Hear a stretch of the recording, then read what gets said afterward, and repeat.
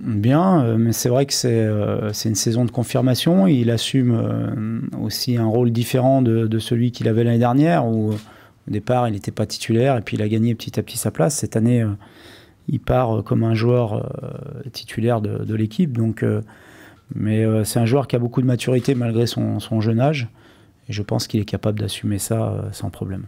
Euh, ils ont gagné leur place, j'aime pas dire ça, parce qu'il faut qu'ils confirment chaque jour s'ils veulent rester dans le groupe. Aujourd'hui, ils, sont dans le groupe, ils sont dans le groupe d'entraînement.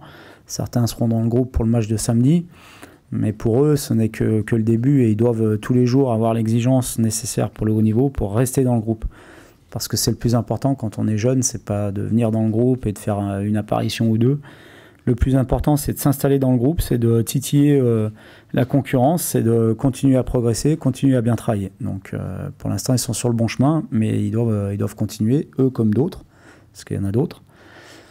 Et concernant la deuxième question, on réfléchit aussi, on est un petit peu comme, comme pour le, recrutement d'un milieu de terrain, on est aussi en réflexion avant de savoir si on prête d'autres jeunes joueurs ou pas.